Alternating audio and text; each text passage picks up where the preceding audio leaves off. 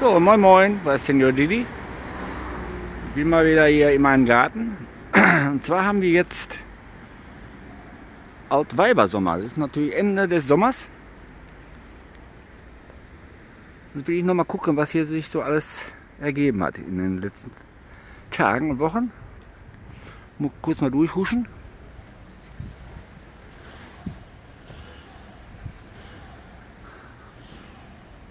Ja, so sieht das von vorne aus.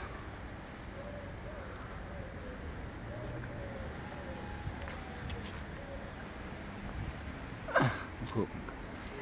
Und was Spiele mal genau angucken jetzt. So, das ist der Garten von vorne.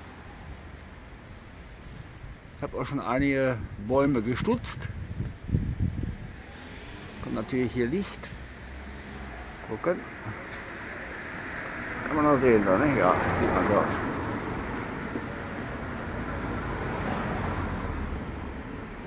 So, das ist mein Garten und den will ich jetzt mal gleich betreten.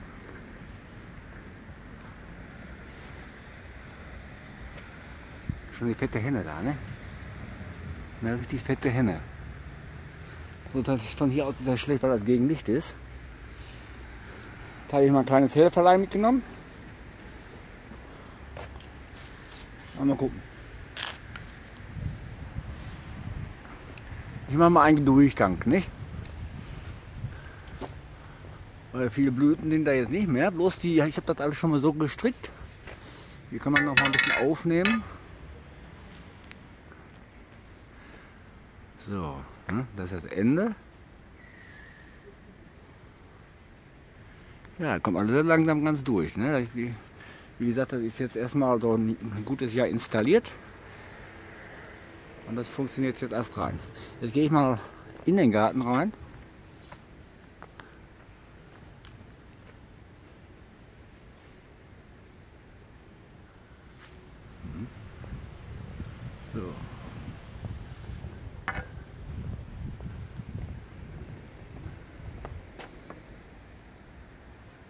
Das wird eine Pfingstrose. Da habe ich doch tatsächlich eine Pfingstrose, noch gar nicht so lange her, also zwei Jahre, drei Jahre hier eingepflanzt. Und dieses Jahr kommt die tatsächlich hier raus. Ist ein Hammer, ne?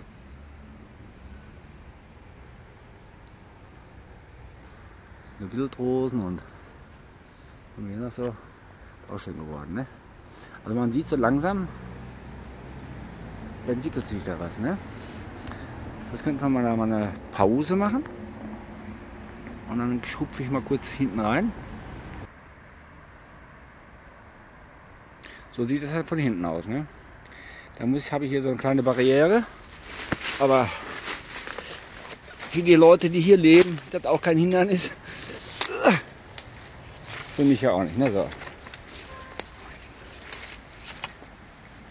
Jump ich mal hier rein.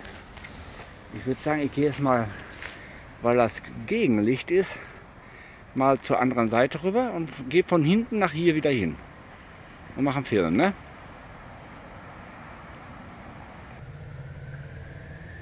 So, dann fangen wir gleich mal hier an. Hier bin ich am Ende der Welt, beziehungsweise Ende des Gartens. Und hier hat sich schon einiges so getan, ne? Sieht man schon mal, eine schöne Sonnenblume. Wir haben jetzt den 20. September 2024.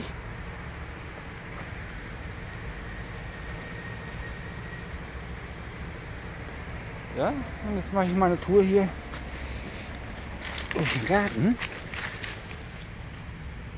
Ja, da sieht noch eine Yucca hier. Die will erst noch eine werden.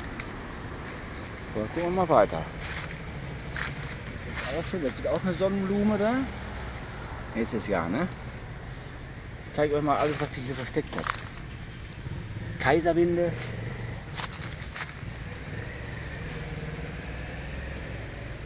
Sonnenblume.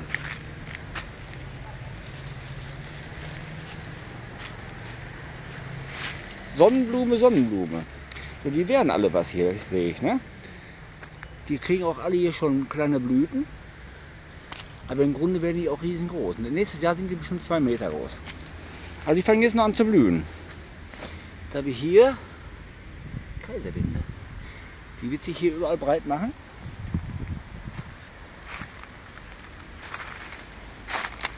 Hier auch. Ja.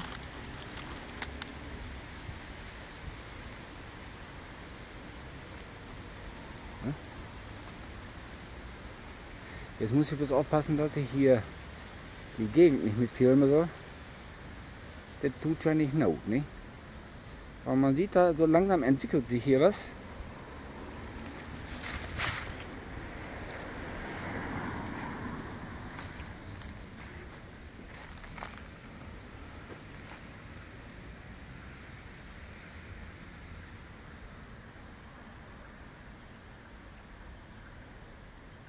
Das ist mal, Gegenlicht ist immer schlecht. Ne? Man soll immer mit dem Licht, also Licht im Rücken haben und dann filmen.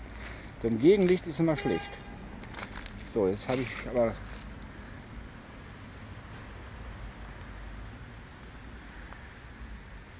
die Sonne ganz verdeckt. Sind da schon schöne äh, Mäuschen hier entstanden, ne? Also ein Ölbäumchen oder was.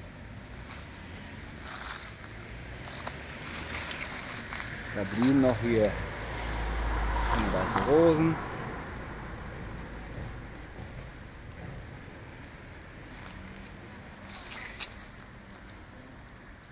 Die müsste ich mal hier abzupfen noch. Das kann sein, dass der noch mal äh, Blüten kommen.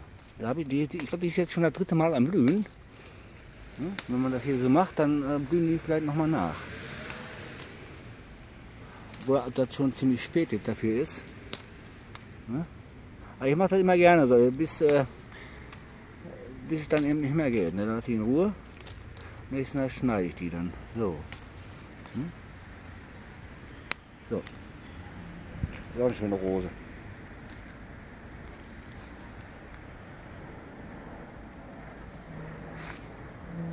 Hier ist schon so ein kleines Monster, ist schon genauso groß wie ich. Die Tage fängt die Tage an zu blühen, das sieht man jetzt schon, ne? Flieder, ein kleiner. Das sind ja alles jung, jung äh, sehr junge Wechsel so, ne? Die sind erstmal so ein, zwei Jahre jetzt hier drin, hier auf diesem Weg. Und die hier hinter, die sind ja schon ein bisschen länger darin. Die habe ich schon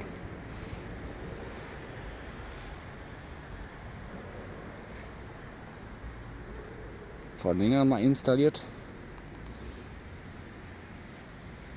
Cool, ne? So. Da nochmal.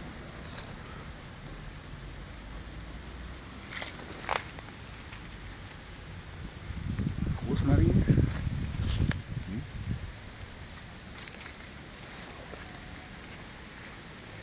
Und wie gesagt, wir haben jetzt Altweibersommer, richtig schöner Tag. Das will ich mal ganz kurz nutzen. Ich glaube, das werden hier so Knallerbsen oder was. Ach nee, das war hier.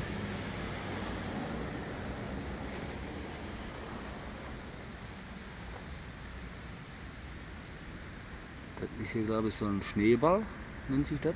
Hier gibt auch ein schöner Busch mit äh, ganz weißen Blüten. Ne? Wie so ein Ball, diese Schneebälle sehen die aus.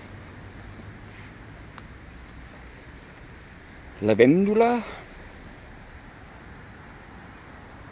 Also man sieht, die freuen sich alle hier. Auch der Moos kann ruhig hier wachsen. Er macht nichts. Ups. Also immer ein bisschen aufpassen. So, da haben wir hier eine Coca-Cola-Pflanze. Da habe ich schon mal gesagt, wenn man hier mal so drüber geht, mh, und dann mal riecht, echt wie Coca-Cola. Ne? Da habe ich mehrere Pflanzen von hier. Da ist eine, wo ich noch gebackt habe. Da ist noch eine junge Sonnenblume. Das ist noch eine Edelrose, die wird noch was. Hm? Die schon. Und da haben wir noch schon noch eine Blume, wie ich gerade sehe. Das ist die Rose, die ist jetzt ganz groß, aber eine kleine habe ich auch noch. Sieht ja gut aus, ne? Und riecht lecker. Uiuiui. Sehr schön. Hervor.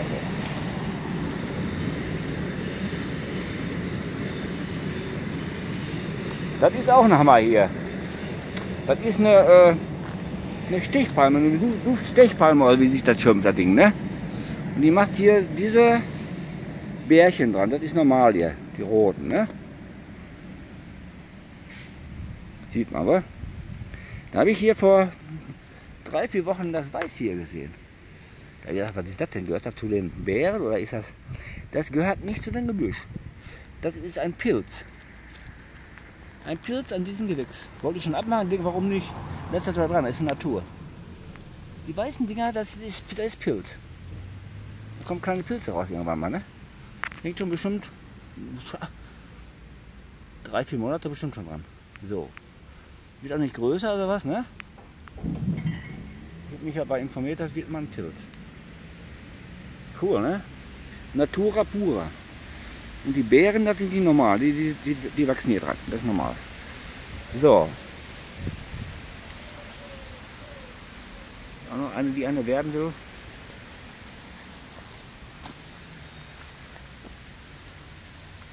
Lilien, da habe ich auch ganz viele hier drin. Kronenlilien. Da ist eine, meine, nennen die sich hier, diese hier, diese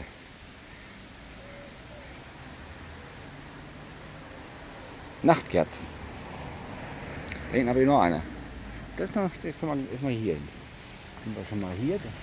Ja, also die sind schon hier so groß fast wie ich und haben da schon Knospen. Ne? Jetzt haben wir hier den Kirschbaum. Der ist der jüngste von drei Kirschbäumen. Ne? Dann habe ich hier auch noch ganz viele. Die, haben sich, die vermehren sich wie, wie wild hier. Das sind auch so Lilien, glaube ich. So Lilien, Liliengewächse. Lavendel dazwischen. Da geht auch mal ein fetter Busch, ne? Ein fetter Busch unterm Kirschbaum. Jetzt hat nicht ein tolles Wetter. Cool, ne? So. Und mal hier.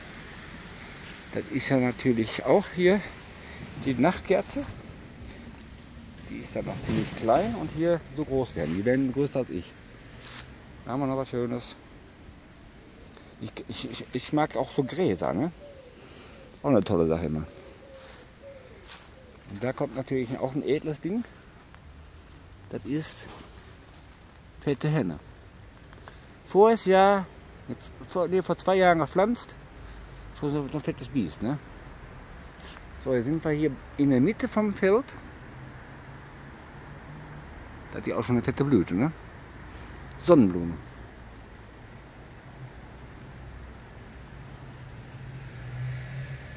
Eine schöne Farbe, ne? Ja, die muss ich dieses Jahr mal beschneiden, dass die schon satt wird. Ne? Jetzt gehe ich noch mal hier hin, denn hier habe ich noch immer die Flocks. Soll man nicht meinen, aber die blühen ohne Ende. Die Sonnenblumen, ne? Die Flocks. Auch cool, ne? Hier kommt äh, neue Yucca. Also eine alte neue, ne? Die vermehren sich ja dann immer. Oder so. Ne? Das ist ein japanisches Kraut, das kann man essen. Japanischer Salat. Aber ich lasse es einfach stehen. Und die Dinger hier, das sind Walderdbeeren. Und wenn man die isst, ups, wo ist sie jetzt hin? Oh, das hat sie vom Acker gemacht. da ist sie. Wenn man die isst, die schmecken wie, wie von Tante Emma so ein Bonbon.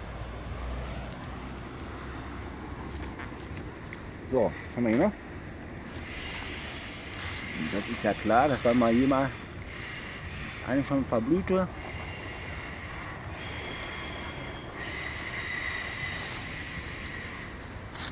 Das ist die erste Blüte, beziehungsweise die erste Pflanze, wo hier eine Blüte im, im Januar rauskommt. Azalea, ne? Das ist richtig schöne. Und hier drin habe ich, äh, ist da, einen ganz kleinen äh, wie nennt sich das noch? Abtalee und hier, ähm, ja, jetzt, jetzt habe ich den Kopf kaputt. Da wird richtig schöner Busch mit schönen Blüten dran, ne? Wie gesagt, gleich da geht das nochmal. Ich habe das jetzt nicht auf dem Schirm. So, das. Natürlich das hier. Das einmal kurz hier reinspringen.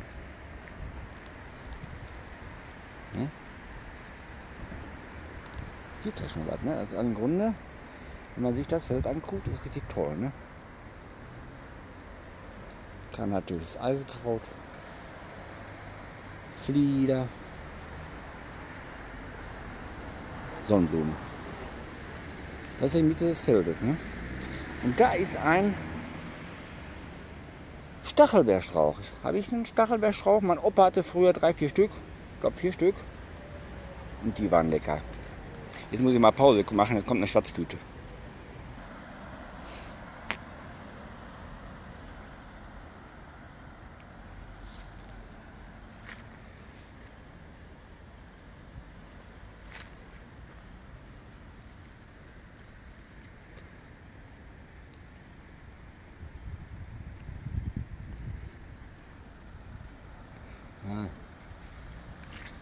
Sie hat mich nicht gesehen. Wenn die anfängt zu quatschen mit mir, da, oh. dann ist der Film voll. So. Verblühte Sonnenblume schon mal, ne? Auch verblühte hier schon kleine. Die haben schon vorgeblüht. Also bei mir ist im ganzen Jahr blüht irgendwas. Das ist ein weißer Flieder, den ich noch gesetzt habe. Der wird noch was, ne? Also irgendwas blüht immer hier. Hm? Hier, die ist ein bisschen unterernährt irgendwie. Da muss ich mal gucken, da mal Kompost drauf machen. Das ist hier die Nachtkerze. Allemal. Und jetzt mache ich mal einen Schwenker. Das habe ich ja da. Soweit alles auf dem Schirm. Jetzt muss ich mal hier. Jetzt gehe ich mal auf der anderen Seite, was schon alt ist. Das ist schon eine alte Blume hier auch. Ne? Das ist auch eine fette Henne.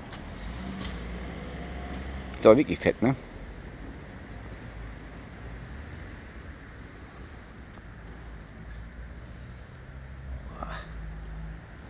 Cool, ne? So, dann habe ich hier den Flieder noch. Den habe ich aber schon beschnitten, so ein bisschen, dass die nicht so mächtig sind. So, dann gehe ich mal weiter. Jetzt will ich aber noch eins machen. Die Sonnenblume, die ganz große Sonnenblume, die will ich im anderen jetzt mal filmen. Mal gucken, ob ich das hinkriege. Da steht sie. Ist das nichts? Ich sehe gar nichts hier.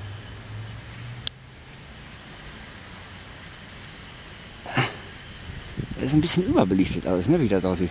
Also mit so einem Handy zu filmen ist nicht so einfach. Also einfacher ihr habt, wie das immer mit der Spiegelreflex habt. Alles egal, man sieht es ja, ne? Schönes Kind. So. Mal hier mal hin. So. Also das war jetzt die fette Henne hier. Ja, da habe ich da hinten auch schon was reingebastelt nochmal. Die fette Henne. Und da hinten habe ich noch die, die kleine hier, ne? Die ist auch cool, ey. Die habe ich alle mal so ein bisschen gerichtet, weil hier so viel Wind immer ist. Cool, ne? So. Jetzt jump ich mal hier so durch.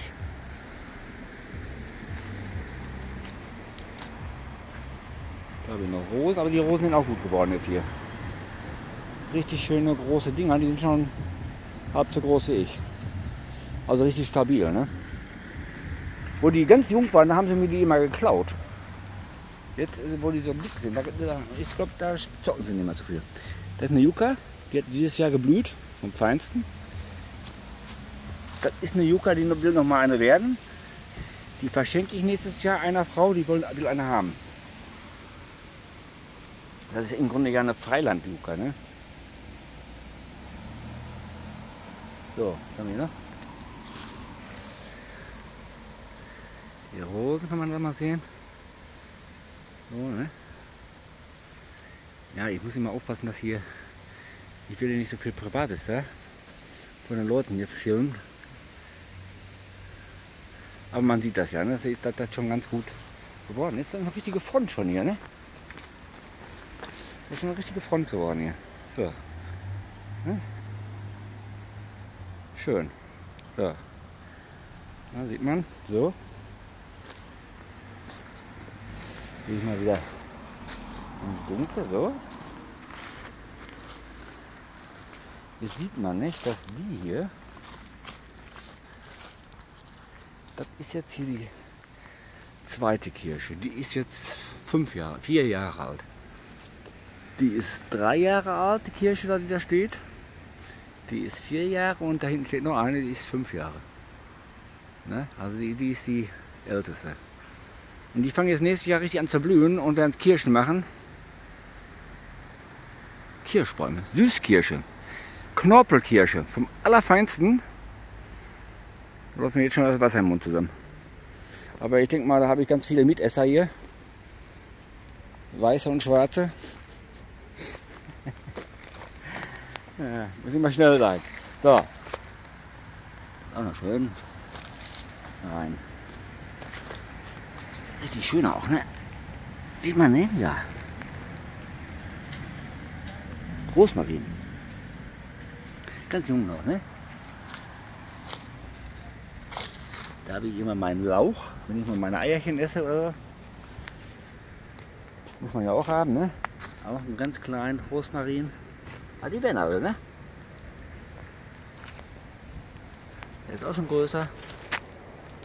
Die pflanze ich immer so klein ein, so, also 10 cm. Und dann stecke ich die immer so ein bisschen schräg rein.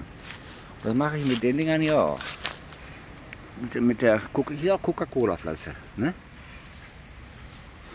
Da kann man so ein Stück abmachen. Ja, so ein Stück. Zack, bricht das ab. Steckt das in der Erde, aber tut auch nicht gerade rein, sondern schräg reinschieben. Und lässt das dann so. Und dann wächst das so an. Ohne Wurzel. Ne? Das schon ein richtig dicker,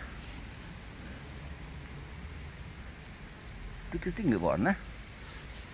Oh, die riecht. Ey, da will man eine Coca-Cola-Flasche aufmachen. Ne? ja, Haselnuss, aber die kann sich hier nicht entwickeln. Die schneide ich immer, dass er nicht so dicht wird. So, sind wir im zweiten Feld.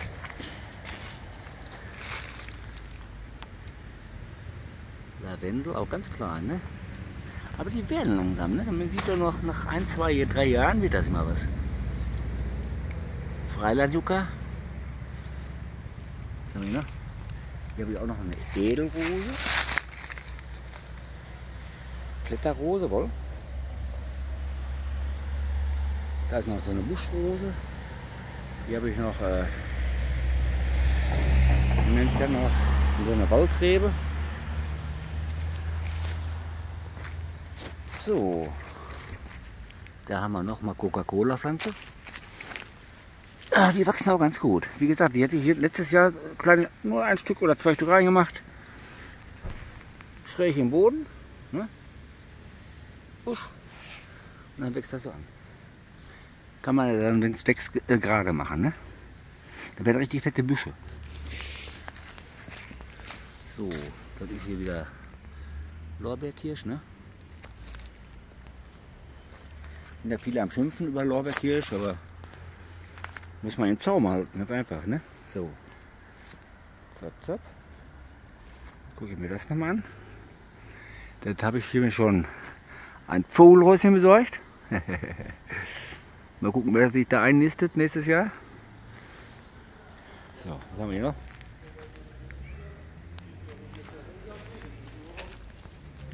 Was ist noch? Oder? Noch eine Coca-Cola-Pflanze. Die wachsen echt schnell, ne? Wie gesagt, auch die habe ich so 10 cm reingesteckt und dann wachsen die so schnell an, ne? Auch ein fettes Biest geworden. Cool. Ja, da geht jetzt richtig ab, wenn die erstmal angewachsen sind, ne? Alles so Zierbüsche, so, ne? Habe ich eine ganze Menge reingemacht hier. Das ist natürlich sehr schön. Das hier Und da hinten hatte ich noch einen. Ich weiß nicht, den habe ich gerade jetzt übersehen. Hibiskus, der macht richtig tolle Blüten. Und so wie ich gesehen habe, macht er sogar gefüllte Blüten. Zwei Stück habe ich davon. Mal gucken, was sie nächstes Jahr machen. Die werden auch äh, als Büsche und dann haben die richtig schön so, so Glocken, äh, so glockenartige Blüten, ne? aber richtig schöne. Labendula. Da schreibt mir einer, der einen Film von mir gesehen hat, hier von dem Garten, der sagte, warum sind da so viele Blätter? Da habe ich hingeschrieben, die sind bestimmt von den Bäumen. Das ist ein Wildgarten. Ich tue da nicht groß rumzaubern und einer schön machen, sondern ich lasse das so, wie das ist. Die Natur, du holt sich das alles wieder. Ne? Ich tue so ein bisschen, den, ein bisschen den Chef machen hier, dass er nicht zuwuchert. Ja? Aber so im Großen und Ganzen lasse ich die Natur walten. Ne? Da habe ich noch eine Freilandhucke.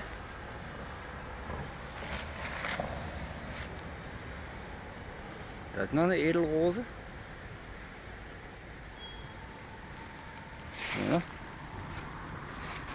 ich hier noch einen Flieder wieder. Den habe ich auch schon beschnitten. Ne? So, da haben wir noch eine. Die ist schon groß geworden jetzt hier. Die hat doch schon eine gewisse Größe jetzt hier. Coca-Cola-Pflanze. So schnell wachsen die. In ein Jahr. Ne? So. Auch so eine Zierpflanze, ne? Bodendecker. Und das ist die junge Kirsche hier. Also im Grunde sind die alle fast gleich aus. Ne? Also kann man sich ja mal angucken. So, aber so drei, vier, vier, fünf Jahre sind die alle zusammen out. Ne? Ich glaube 18 oder 19, 18 habe ich das gemacht. Sech, sechs, sechste Jahr jetzt. Nächstes Jahr wäre das sechste Jahr, glaube ich. Kann man das jetzt zoomen?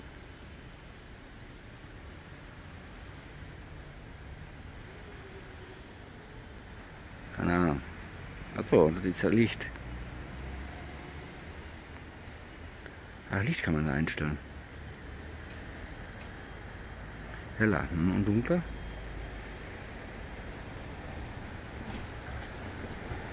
Ja, das ist überbelichtet. Ne? Ich muss mich mal mit dem Handy mal ein bisschen auseinandersetzen, wie, wie die Kamera hier funktioniert. Ich finde, das ist ja mal so ein bisschen überbelichtet. Ne? Ist zwar 4K, aber das auch noch. Den von Kollegen gekriegt. Farnkraut. Aber nicht so normales hier, so das urzeitliche, sondern das ist noch was anderes. Hier habe ich so auch Farnkraut, ne? Das wird aber noch was. Und der ist die Speziale. Das macht auch, geht auch schön. Ich würde sagen, dann bin ich jetzt hier durch mit dem Feld. Und man sieht es ja,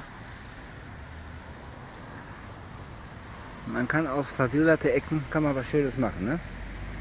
So, da nochmal. Na, hier das Ende, da habe ich so gemacht, dass da nicht jeder reinhopsen kann.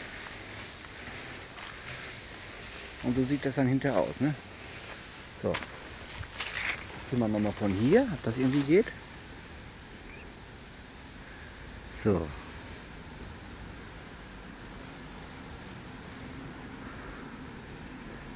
Ja, so.